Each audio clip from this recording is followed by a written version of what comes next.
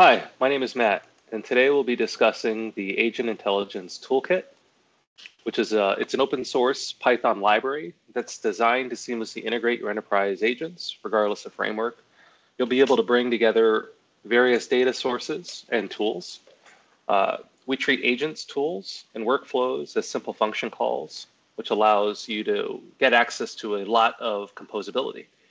Uh, once you build your agent, and its components once. You're able to reuse these across agents or distribute these to other developers as everything we build is considered a plugin, which is really nice. Uh, so what we're looking at here on the right is the UI that comes with the toolkit.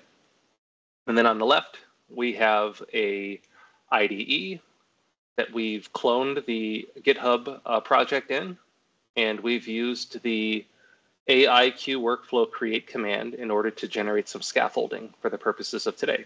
So today's goal is to use the toolkit in order to uh, generate a multi-rag agent with an emphasis on agent. We want to be able to define a custom agent uh, that can have access to each of these rags, each of these rags as tools, and reason about the problem and draw the information it needs as it goes through. Um, we, for the purposes of the rags, we've created a uh, synthetic or a made-up company called GPU Experts Incorporated and within each of the rags, we've put various corporate policies from uh, PTO policies to dress codes and um, and we actually have it here uh, and payroll policies.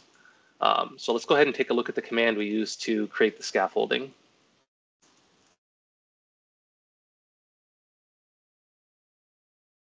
You'll find this command really helpful getting started uh, since every toolkit uh, workflow, uh, workflow built with the toolkit, um, basically you can wrap up as a package and each of the components ends up being plugins and these plugins can be used with your other agents locally or distributed to others and all they have to do is pip install them. So this command really gives you the entire uh, Python package, the PyProject TOML that specifies all the pieces that'll be plugins and you can just start from that scaffolding. So that's what we did here. Um, a few pieces of of this to pay attention to is every workflow uh, is defined by a configuration file. So here we have a config.yaml that defines all the pieces of our, of our agent.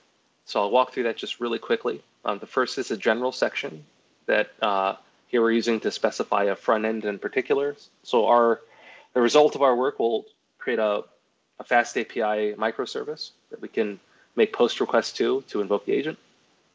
We have uh, one LLM that we'll use, uh, one of the one of the Llama instruct models, your 70 billion parameter model, as well as an embedding model. Um, the embedder will be used by the RAGs. Uh, so with the LLM, the LLM will be used by our agent. Um, we have our three RAGs defined here in our function section. So each of these functions will be basically making uh, a call to the to the RAG, which is being hosted locally, but could have, could be run remotely, which is what you would probably see in a production setting. So here we have one for our dress code, one for our, our payroll, and one for our PTO rag. Um, you'll see here that we're using uh, the same underlying implementation, but creating different runtime instances with different parameters. Right, so this is the this is the beauty of of kind of our composability in action here. We're using our same kind of LlamaIndex-based RAG system uh, in order to do that. Um, and then the last section is a workflow. You can think about this as uh, equivalent to a function, but the main entry point for our microservice. Everything comes with a underscore type that looks things up by name, which is why you can see these are all the same here, right? But they have different runtime instance names. Each of these runtime instance names will have their own parameters. So all of this kind of is backed by Pydantic models for type validation. Um, let's go ahead and see that in action with the boilerplate code that was generated for us for this application. So I'm going to go ahead and make the terminal a little bit smaller here and uh, just walk through this really quickly. So we have some imports on the top. We have our Pydantic model that has a name here. So you'll see this maps to what we were looking at in the config file, right? We've got our underscore type name here and then some parameters that are attributes of that. Go ahead and take a look here, and you'll see that that matches up. Right, so you'll see that pattern for every function that you define. um, every component that you define. And uh, then we have this register function decorator. Uh, this passes in that object, right? That my agent demo function config object. Um, and uh, lets that get registered with the local system so we can look it up by name in our YAML file. And then within the, the body of this, um, we have some uh, arguments that get passed in. We have the ability to access the configured, uh, the runtime configuration via this config input. And then this builder lets us construct at runtime, you know, LangChain wrapped objects, LlamaIndex wrapped objects, etc., uh, and construct clients and functions at runtime so that we can use these. And then in the middle here is the, the logic that would uh, be executed when this particular function is invoked. So with that, let's go ahead and update this because we don't, we actually, uh, actually, why don't we test this, right? Let's, let's spin up this microservice without any changes. And let's see what this does for us. Right, we'd like to have this multi-rag agent, um, and we'll need to get there, but we're not necessarily there out of the gate. So let's, let's go ahead and ask it a question.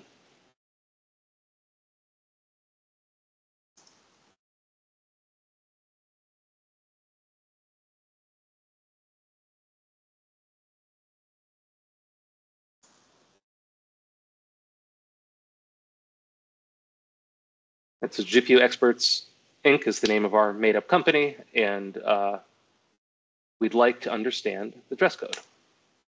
So this does us no good here, right? Because we have no agent. It's effectively a pass through. We're concatenating the input message. And this isn't any good. So now let's go ahead and, and update this so that we can do something useful. To bring in a few different imports.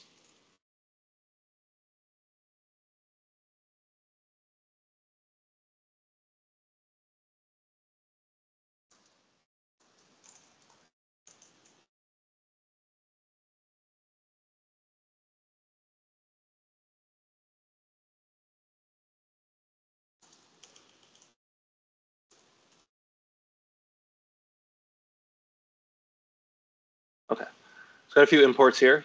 Um, the first two are data types that we'll use in the configuration object. The last one is a uh, enum we'll use in order to uh, wrap things in the framework that we want. So this parameter input is no longer something that we need.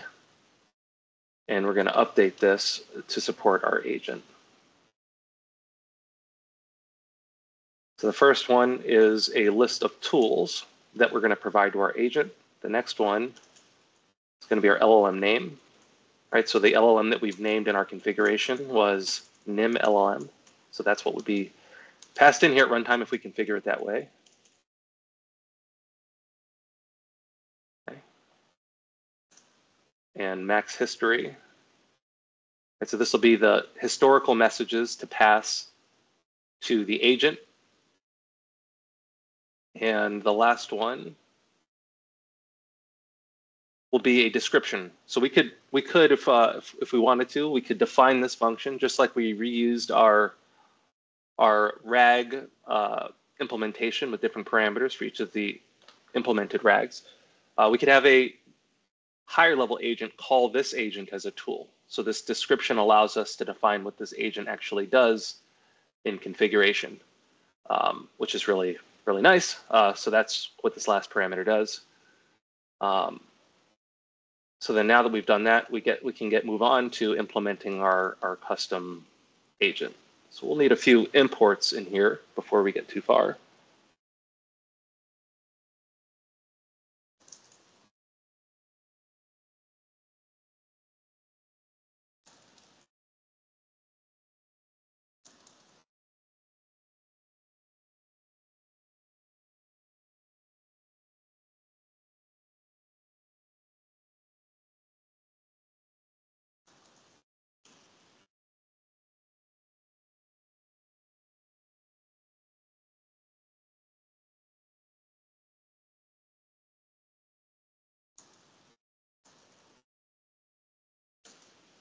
And a few additional toolkit imports.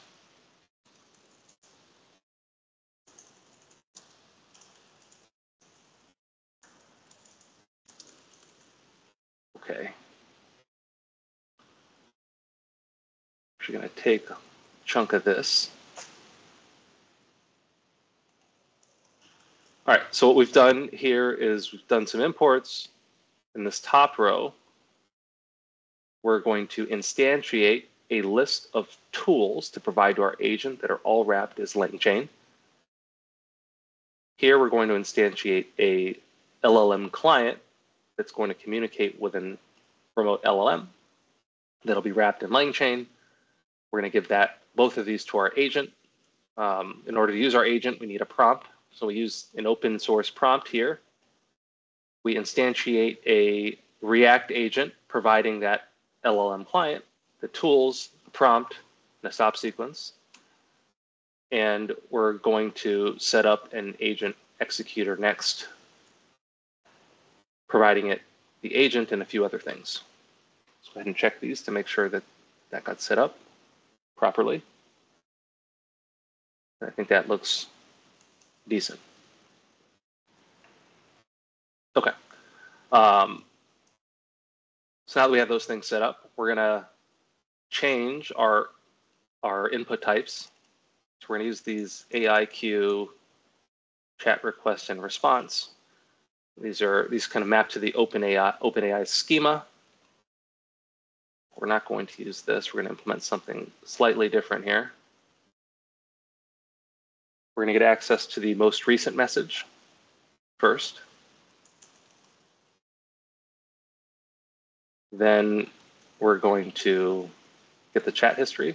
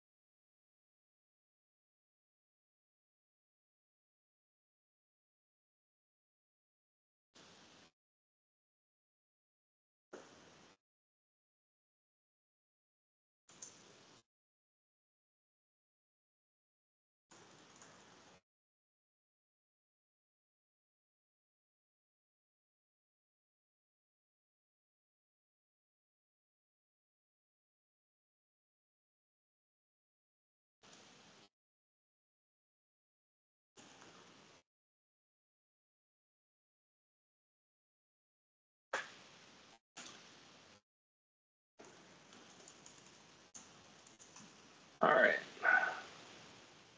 The next thing we're going to do is we're going to, so now that we have our chat history and our latest message, we're going to invoke this, oops, invoke this agent executor. And the last thing we'll do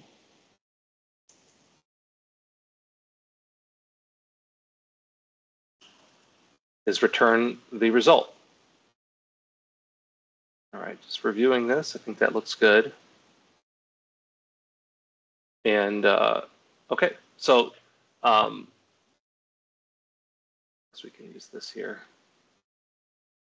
Now we'll, we'll just leave, we don't need this anymore, so we'll just get rid of that. All right, so now what we can do is uh, tear down this uh, microservice, and we'll, we'll need to update our configuration file.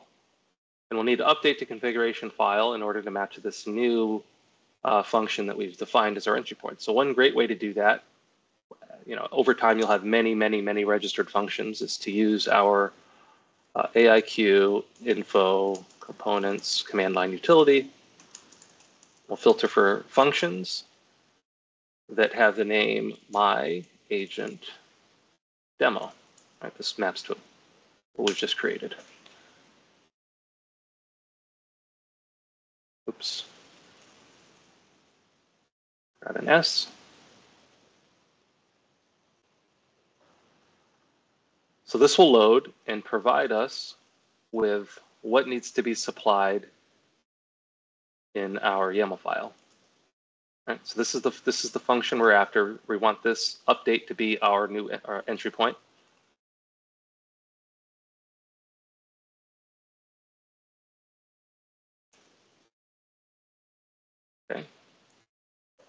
So we've got these function names that map to above. We've got our LLM name, which is our LLM NIM from above. That looks good. We want our max history to be 10 for the chat history, and we've got a description that all matches. So we can quit that command line utility and try to bring up this new service that we've just created.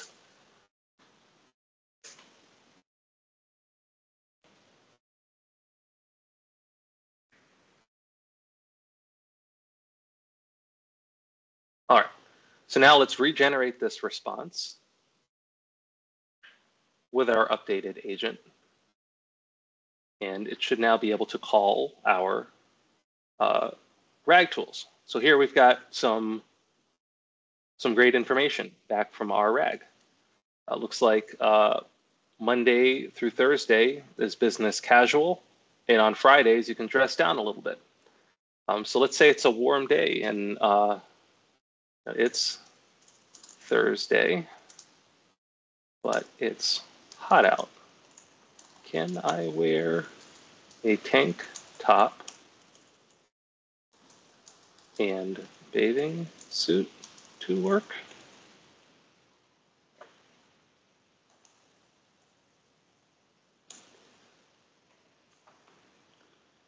So we're hoping that this will invoke some of our tools and afraid not right? So this maps to the above.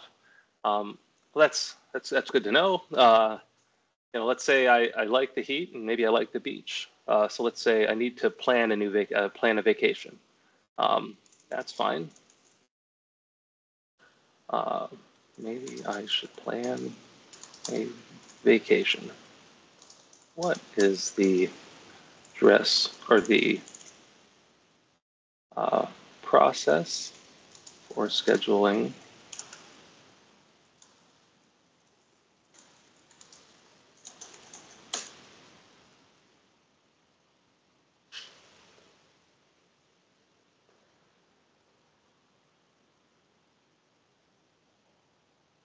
Okay, so here we've demonstrated uh, our, our new agent is, is functional, right? We've we did not use a built-in agent into that's included with the toolkit, although we could have.